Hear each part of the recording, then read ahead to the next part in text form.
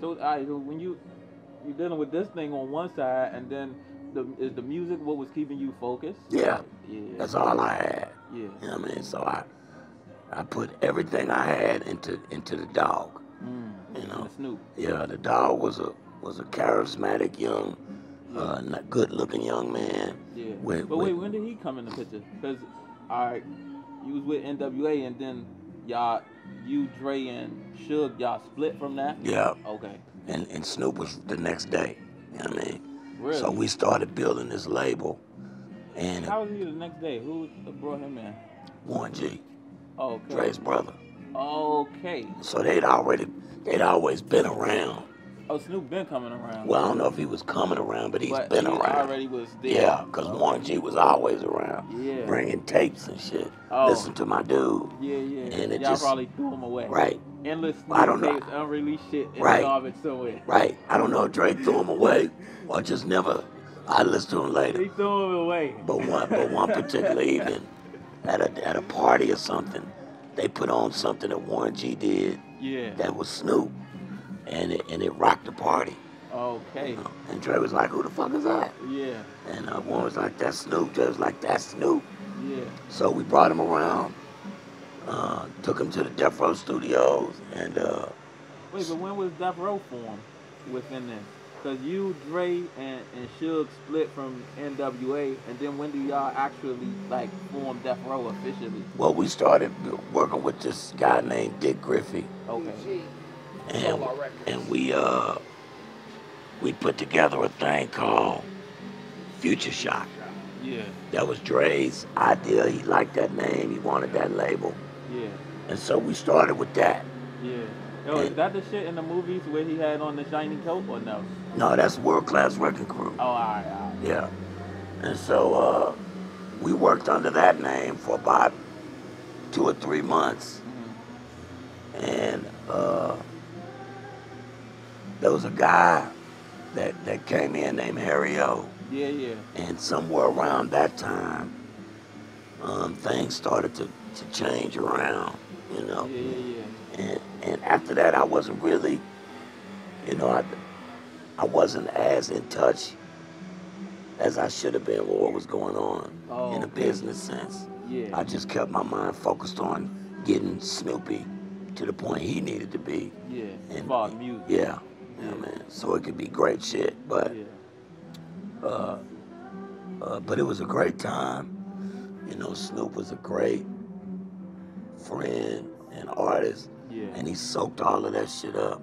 And you could tell because he turned into one of the greats. Yeah, of course. I mean, I, everything around y'all is, is like literally Mount Rushmore hip hop. You know what I mean? Like that. I always am like floored by that because sometimes you know you could do something and you don't realize what you're doing in real time, and then 20, 30 years from now, like half of this. I'm born in 1990.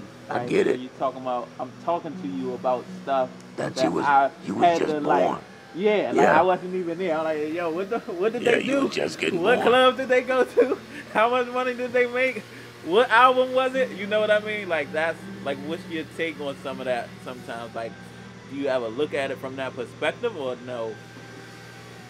Man, it was so much money. Mm,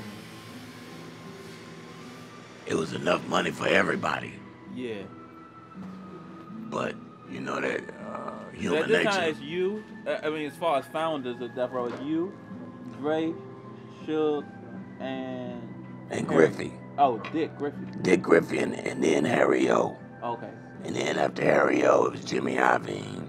Okay. And after Iovine, it was it was out of there, Oh, you know. Uh, and it was just great music, man. Yeah. You know. And Dre was the key. Yeah. Always has been the key. Which is why Eazy it was such a mistake for him not to do the right thing, man. Yeah. Like, wow, how could you do that? Well, the first mistake was to let Cube go. How could you do that? Yeah. You know what I mean? and then you let Dre go. That's like, man, what the hell Yeah. are you thinking? But he was he was already rich, Yeah. And maybe he thought, you know, all I need, I got what I need, me, Yeah. you know, and I can continue my thing. Yeah. Um, but So at this time, like when when y'all are working on, um, what's the first project y'all worked on with with Death Row? Because y'all formed Death Row, and then like what was like what was your your mindset? Because this what you 22 now? Yeah. 21, 22. Fucking baby. Yeah, it's just uh, my job is just to help help the, the songs get built. I'm a songwriter, right? Yeah, That's yeah. that's what I take stock in. Mm, And so uh, my job is to help these guys make great songs. yeah. Like if you look at the Chronic, yeah. a lot a lot of that work is mine. Mm. You know, Mm, you could if you were there, you would know. But it's just me and Snoopy yeah. for the most part, passing passing shit back and forth. forth, right? Yeah. You know, and then you have Rage and and RBX Yeah. and and uh, uh, Kurupt Kingpin and Daz, Yeah. and those guys rounded everything off. You know what I Yeah. mean? But but yeah, and G Wells, right? Mm, You know, and that was the click right there. We was in the, we was in that studio every day. Didn't nobody had no money. yeah. At least I didn't have no money. And and You ain't had no money. Snoop Nobody put had no money. I ain't had no money. Nobody had uh, I don't know. Suge might have had a lot of money, Yeah. and uh, Dre, Dre might have had some money. yeah. you know, and uh, and we all, all all the everybody else's we had twos and fews, Yeah. but it was enough to keep us going because we knew the music was the shit. We knew Yeah.